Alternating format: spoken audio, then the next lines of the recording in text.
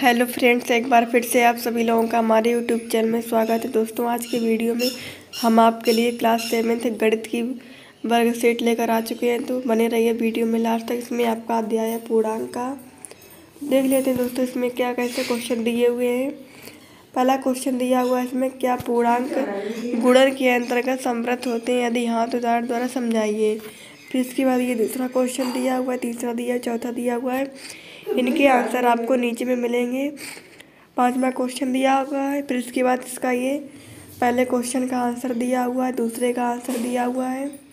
तीसरे का दिया हुआ, जल्दी से इसको आप अपनी कॉपी में नोट कर लीजिए, फिर इसके बाद क्वेश्चन नंबर चौथे का आंसर दिया हुआ है पाँचवें का दिया हुआ है। इसको भी आप नोट कर लीजिए अपनी कॉपी में। दोस्तों, वीडियो पसंद आया हो तो वीडियो को लाइक करें। चैनल पर पहली बार विज़िट कर रहे हैं तो चैनल को सब्सक्राइब ज़रूर कर लें और बेल आइकन को भी प्रेस कर लें। जिससे आपको हमारे आने वाले लेटेस्ट वीडियो की नोटिफिकेशन मिल सके। तो चलिए फ्रेंड्स मिलते हैं नेक्स्ट वीडियो में। Thanks for watching video